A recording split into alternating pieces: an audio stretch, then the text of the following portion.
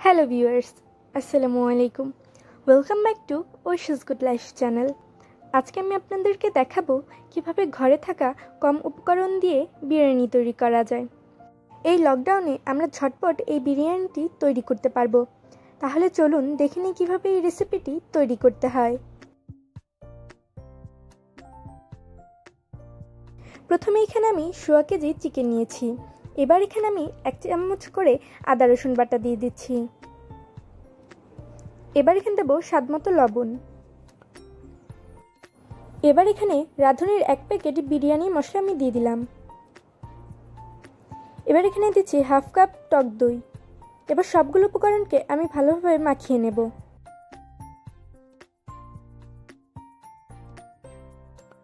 আমার মাখানো হয়ে গিয়েছে। এবার বিশ মিনিটের জন্য আমি ঢেকে রেখে দেব।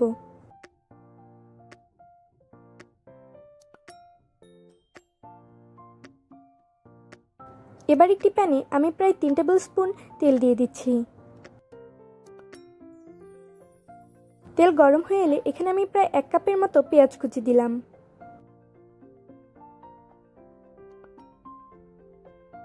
এবার অল্প আছে আমি পেঁয়াজগুলোকে ভেজে নেব।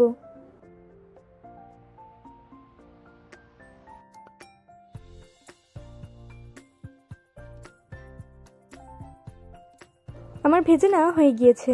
এবার মেরিনেট করা চিকেন আমি এখানে দিয়ে দিচ্ছি।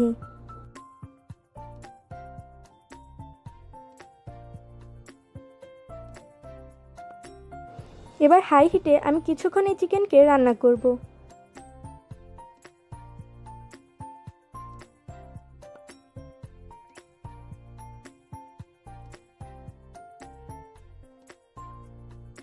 এবার আমি একটি ঢাকনা দিয়ে ঢেকে দিচ্ছি। আপনারা দেখতেই পাচ্ছেন চিকেনের ভেতর থেকে তেল বেরিয়ে আসছে।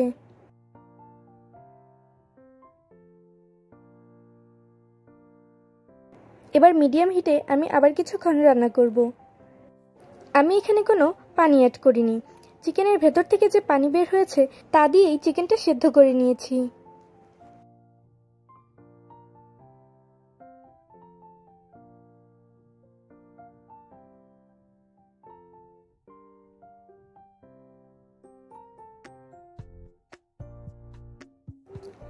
আমার চিকেন রান্না করা হয়ে গিয়েছে। এ পর্যায়ে আমি তিনটে কাঁচা মরিচ চিড়ে এখানে দিয়ে দিয়েছি।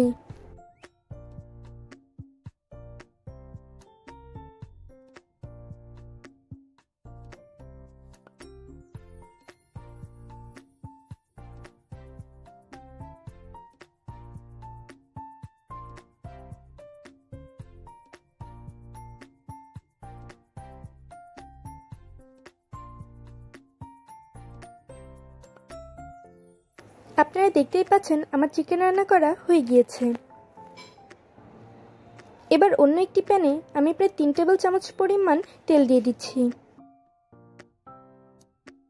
হয়ে এলে এখানে আমি প্রায় চার টেবিল চামচ পরিমাণ পেঁয়াজ কুচি দিয়ে দিচ্ছি।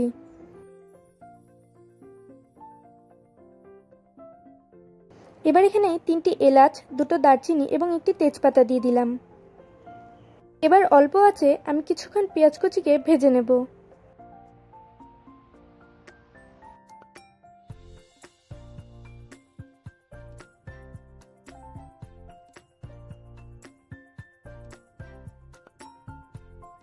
এবার এখানে আমি এক চা চামচ পরিমাণ আদা রসুন বাটা দিয়ে দিলাম।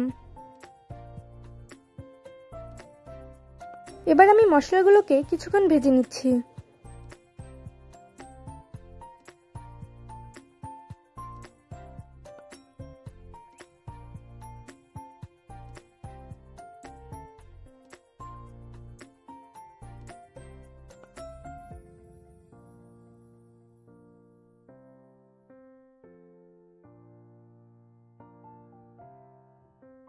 আমার পেঁয়াজ ভাজা হয়ে গিয়েছে।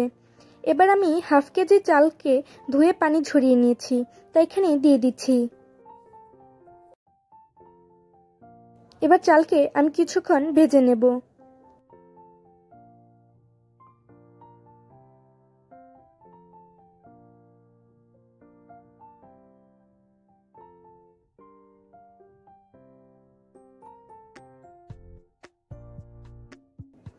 এবার এখানে আমি এক চা চামচ পরিমাণ লবণ দিয়ে দিচ্ছি।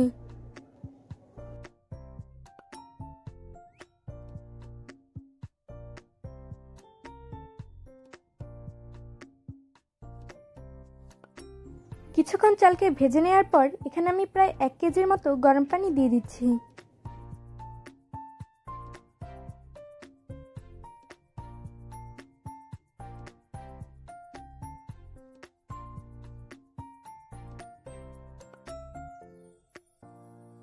এবার না ফোটা পর্যন্ত আমি একটি ঢাকনা দিয়ে কিছুক্ষণ ঢেকে দেব।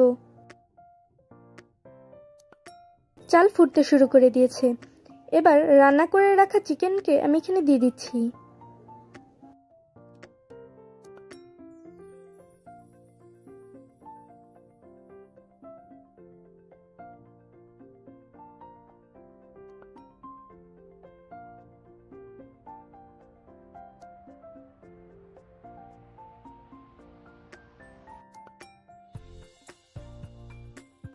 এবার এখানে আমি ছ সাতটা চিড়ে রাখা কাঁচামরিচ দিয়ে দিচ্ছি। ঝাল লাগবে না, কিন্তু বিরিয়ানির ফ্লেভার ভালো হবে। আমি কিছুক্ষণ দমে রেখে দিয়েছি।